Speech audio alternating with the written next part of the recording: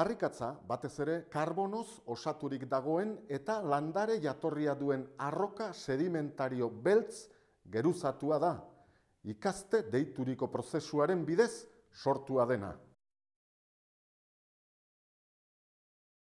Duela bosteun milioi urte, hasieran urtarrak ziren lehen alga eta landareetako batzuk, itxasoko urre pelakutzi eta lehorrean bizitzeko gai bihurtu ziren. Ordudanik, denbora geologikoan zehar, ia etengabe sortu da harrikatza, baina batez ere karboniferoan eta ein txikiagoan kretazeoan, eta oso ugaria da munduko ia lurralde guztietan.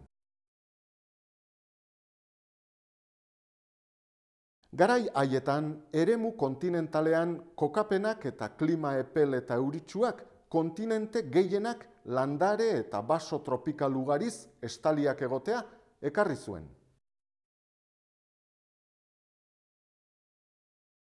Landare haiek, gaur egungo koniferoen, ekisetalen eta iratzen antzekoak zirenak, erraz eta erruz hasi ziren aintzira, zingira, ibai eta delta inguruetan.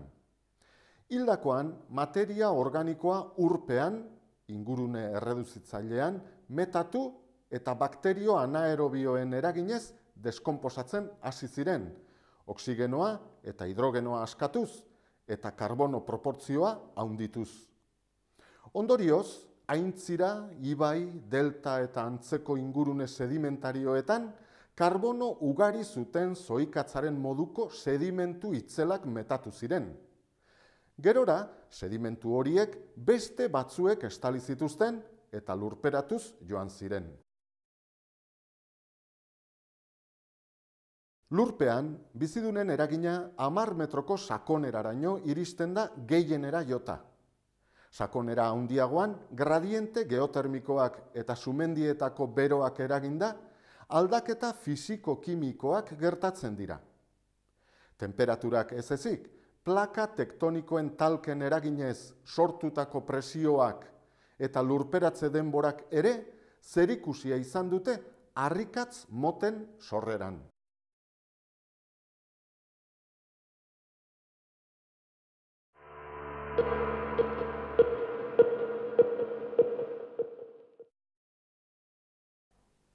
Erregai fosilen errekuntzatik lortutako energia kantitatea baldintzatzen duen ezaugarri nagusia, berotze ahalmena da. Berotze ahalmena, berriz, oso lotuta dago erregaiaren osaera kimikoarekin, karbono kantitatearekin hain zuzen ere. Harrikatzak karbono eta gai lurrunkorren edukieraren arabera sailkatzen dira. Zoikatza euneko irurogei karbonoa da. Solido arrea da. Ezetasun haundikoa. Eta beste harrikatzen ondoan berotze ahalmen txikienekoa da. Etxeetako erregaitzat ez ezik oso ur surgatzaile hona denez, lora zaintzan ere erabiltzen da.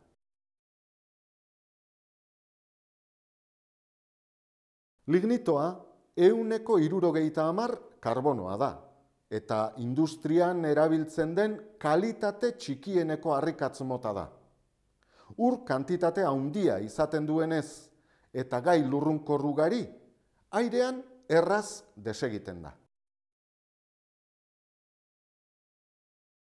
Harrikatz bituminosoa euneko lauro inguru karbonoa da.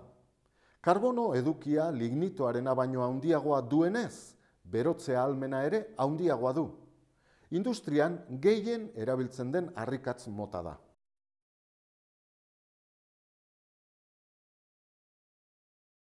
Antrazita, euneko laro geita amarretik gora karbonoa da. Karbono gehien duen eta gai lurrunkor gutxien duen harrikatz mota da. Denetan trinkoena eta berotzea almen haundienekoa.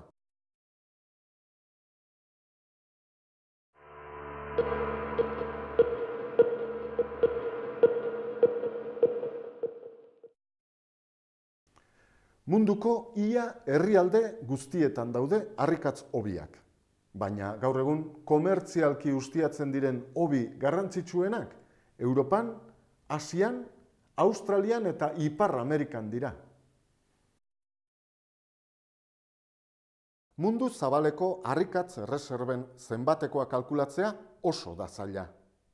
Munduko energia kontseiluaren arabera, pasaden mendeko larogeiko amarkadaren bukaeran, teknikoki eta ekonomikoki eskuragarriak ziren antrazita, harrikatz bituminoso eta lignituaren erreserbak, bat komabi bilioi tona ingurukoak ziren. Harrikatz erreserba eskuragarri horretatik, txinak euneko berrogeta iru dauka. Estatu batuak euneko amazazpi. Sobiet batasun oiak euneko amabi. Ego Afrikak euneko bost. Eta Australiak euneko lau.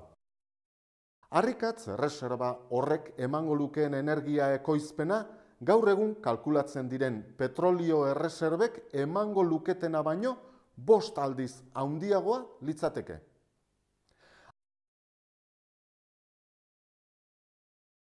Euskal Autonomia Erkidegoari dagokionez, mila bederatzieun eta larogeita amazortzigarren urteko harrikatz konsumoa, berreun eta larogeita amabos mila zazpieun tonakoa izan zen. Harrikatz horretatik, eun da berrogeita amabi mila tona zentral termikoetan erabili ziren. Eun da amar mila tona koke fabriketan. Hogeta lau mila eta bosteun zementu fabriketan.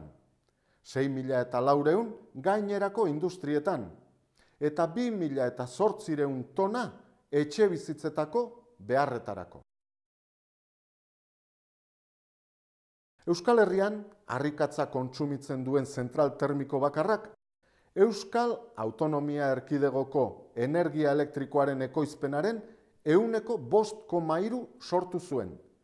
Bertako zentral termikoetan ekoitzitako energia elektrikoaren euneko amaseiko mazazpi.